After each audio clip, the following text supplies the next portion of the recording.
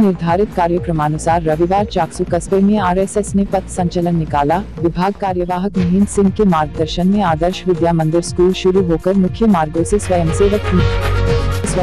team Gangesh और भगवान जयघोष के साथ कदम से कदम मिलाते चल रहे थे